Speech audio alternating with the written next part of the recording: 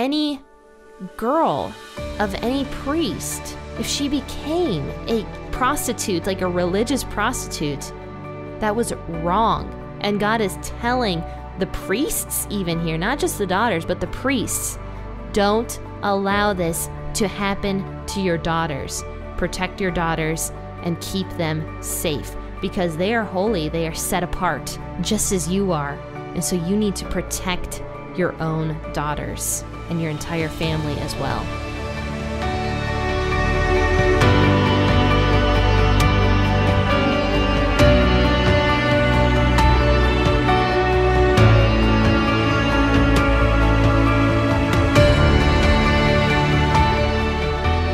Hey, faithful listener, grab your cup of coffee and experience the Bible in a way you never have before. P40 Ministries is a podcast that goes through the Bible cover to cover. It's an awesome narrative that focuses your mind and prepares your heart for God to speak. So join your host, Jenn, for a biblical podcast that's hilarious, informative, imaginative, and fun. The P40 Ministries podcast. Listen now as we go through the book of Leviticus.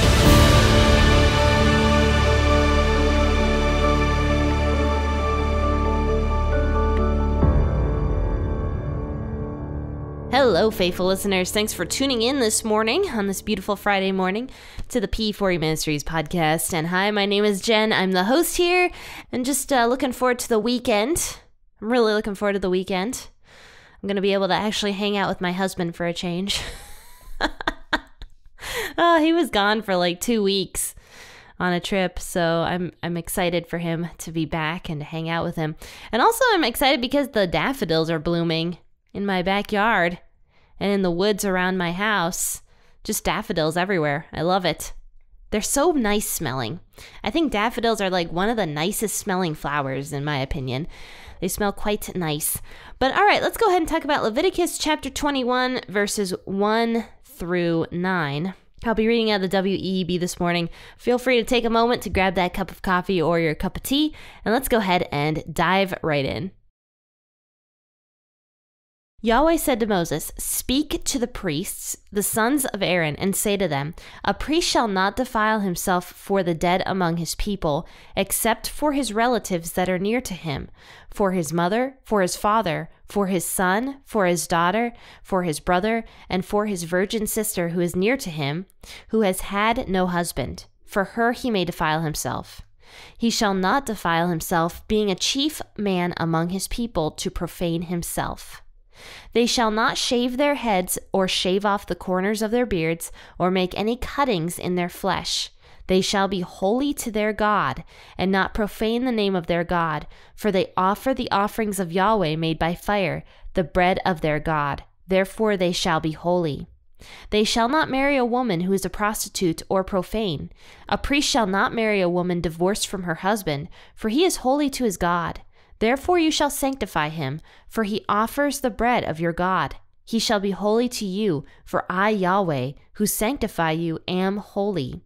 The daughter of any priest, if she profanes herself by playing the prostitute, she profanes her father. She shall be burned with fire.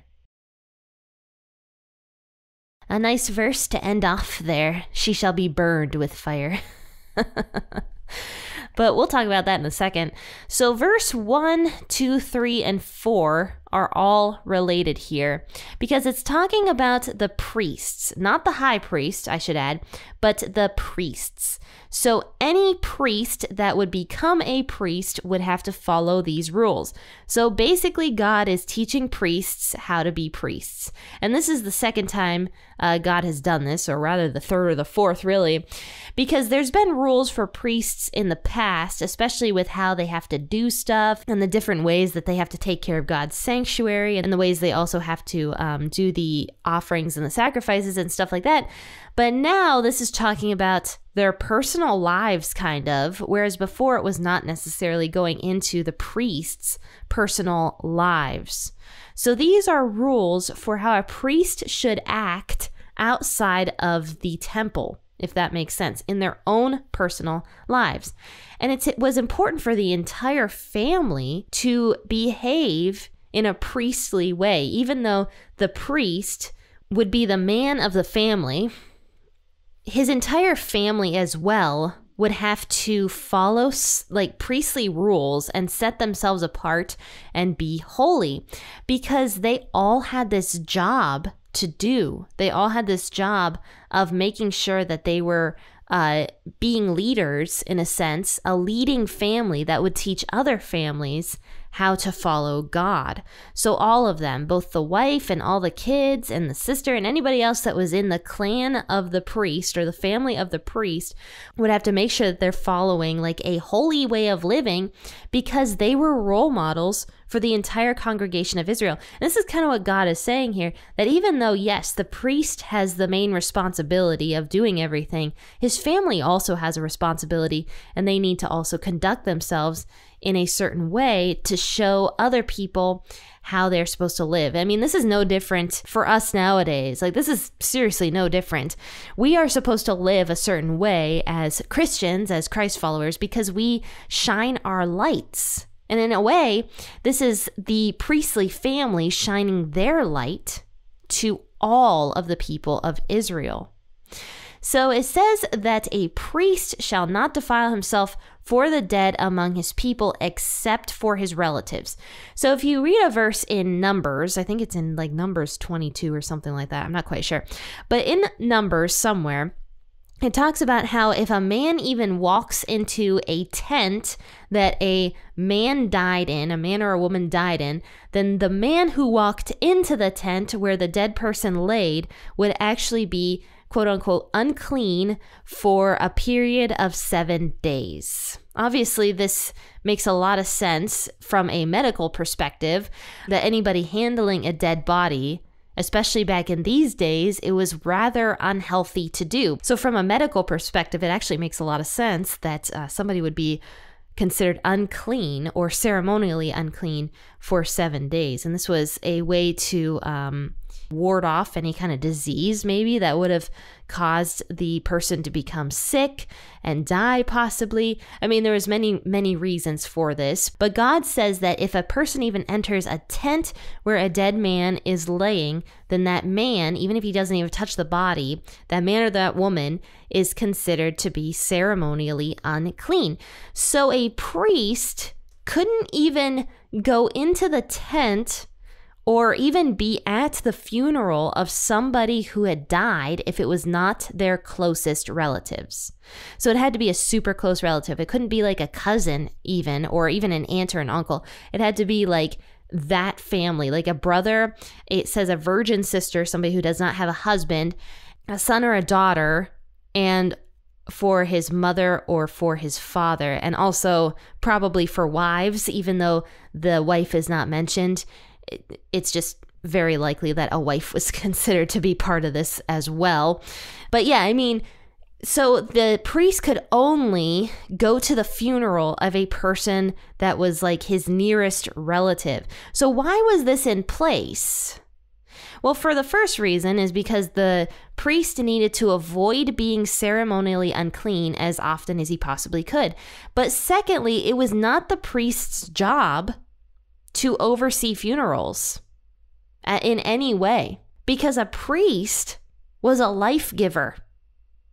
A priest was an intercessor for the people. So he didn't need to be at funerals. And, and we think of that nowadays, at least I did. I think of that as kind of odd because preachers and priests nowadays always oversee funerals.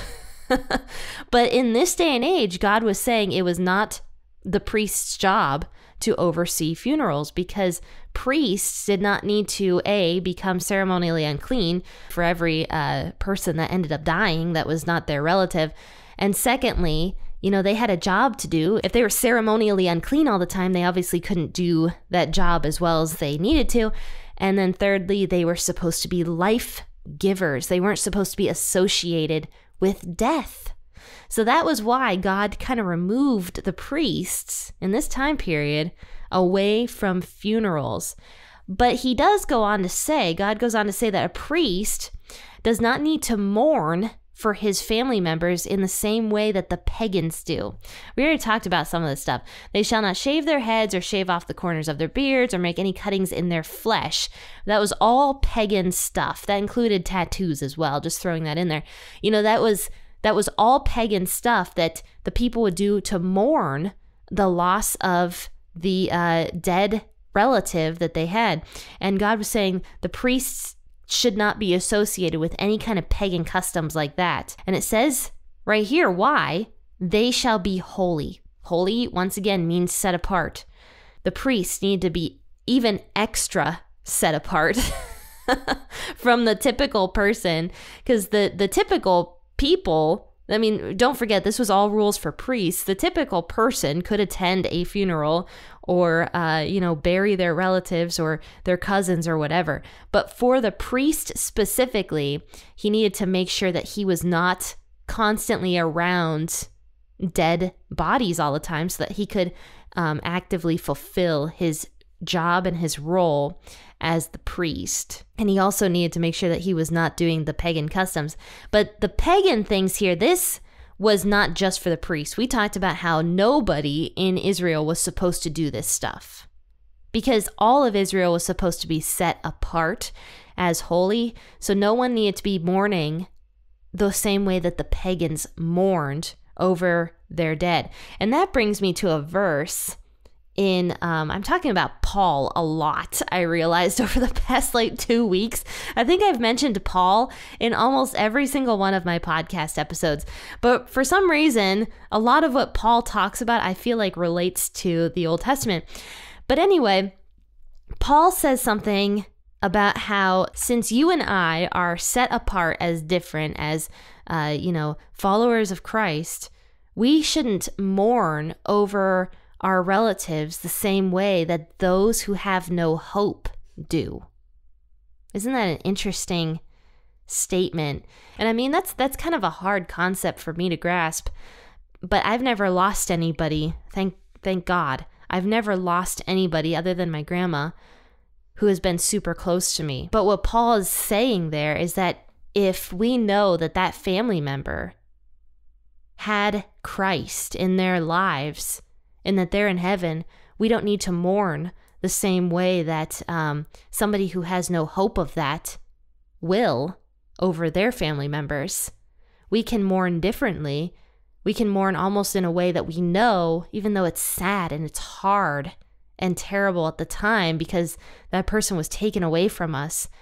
We can mourn in a way that we know we're going to see them again someday. And so it's just a little bit different. And I feel like that almost correlates here with a lot of this like funeral stuff that we're talking about in Leviticus. It's just the priests were supposed to mourn a little bit differently. In fact, all of Israel was supposed to mourn differently as people who had hope in God and not as the pagans did who had no hope. They didn't know where their family members went after death. But the Israelites, if they followed God's law, they knew where their family members would go. But here in verse 7, it talks now about marriage rather than funerals. It says, A priest shall not marry a woman who is a prostitute or profane. A priest shall not marry a woman divorced from her husband, for he is holy to God. So, any woman that uh, in some way was married or was a prostitute, a priest specifically was not supposed to marry um, a woman like that. It does not mention widows here. I just want to throw that out. So I don't know if that was a rule or not, if a priest could marry a widow. But overall, a priest was not supposed to marry a prostitute or a woman who was divorced from her husband. And so this kind of just goes back to that whole thing of staying set apart for God and showing the people what a correct way of living was. Though I should mention once again, this was the rules for the priests. And in fact, it never says in scripture that an Israelite person was not allowed to marry a prostitute. Otherwise, Hosea would have been sinning when God told him to go and marry uh, Gomer, who was a prostitute woman. So it, there's no rule specifically that a um, Israelite man can't marry a prostitute, especially if she, you know, obviously changed her ways and was not a prostitute anymore. God always offered forgiveness, and we we know of several prostitutes in Scripture where God offered just so much forgiveness towards them, and they did in fact um, change their ways. The one I'm thinking of specifically is actually Rahab, but we'll learn about her later.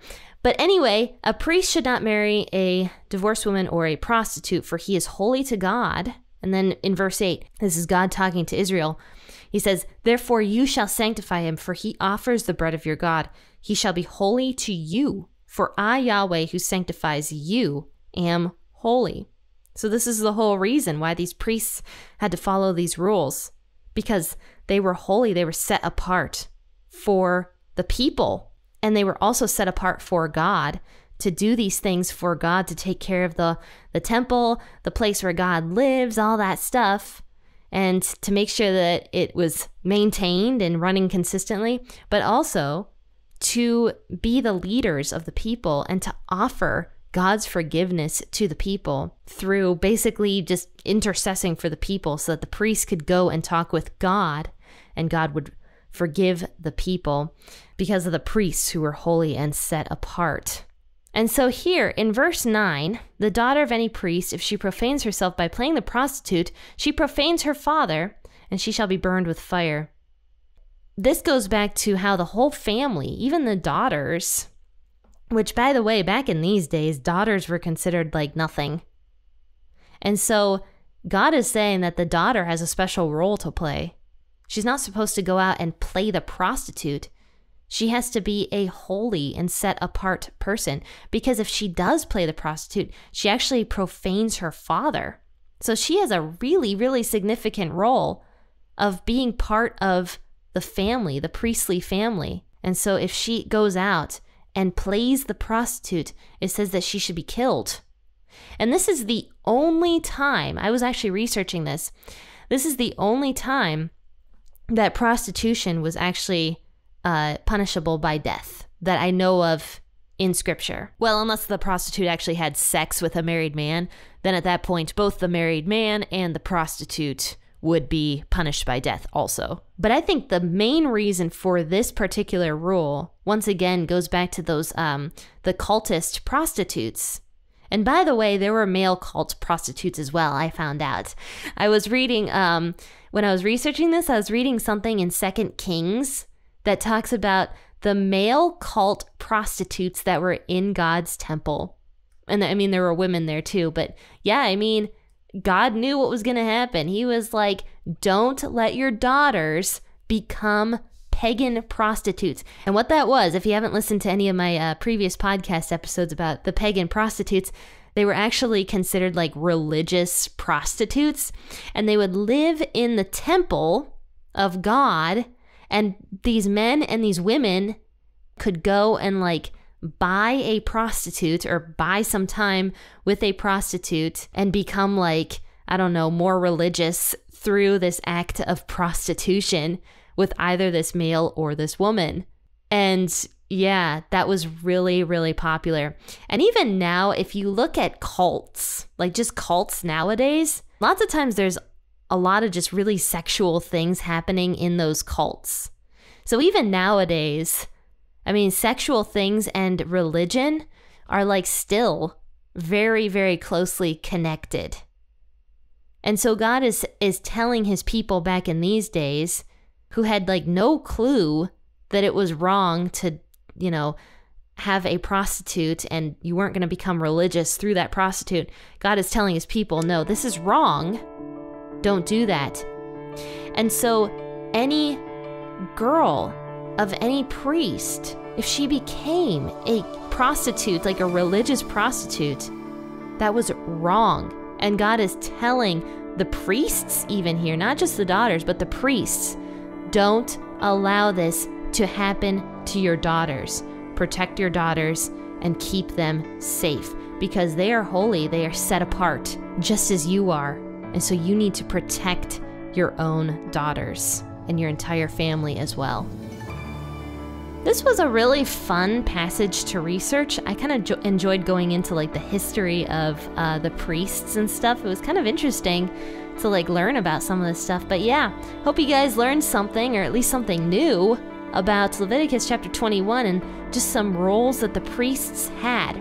I think the one that really stuck out to me, I would guess, is just how the priests were supposed to be focused on life. And like I just thought that was super cool because that is exactly what uh, Jesus does for us is he gives us life. And obviously now he is considered our high priest yours and mine. He is our high priest so yeah i think that's the one that that stuck out to me the most but anyway guys i just hope you have a really great weekend and that you join me monday bright and early for another episode out of leviticus chapter 21 and we'll be finishing up by talking about the rules for the high priest rather than just the priests, like we talked about today. We'll see why the high priest is a little bit different and even a couple extra rules that the high priest is supposed to do that um, that just the regular priests don't necessarily have to do. But all right, friends and faithful listeners, have a fantastic weekend. Happy listening, and God bless.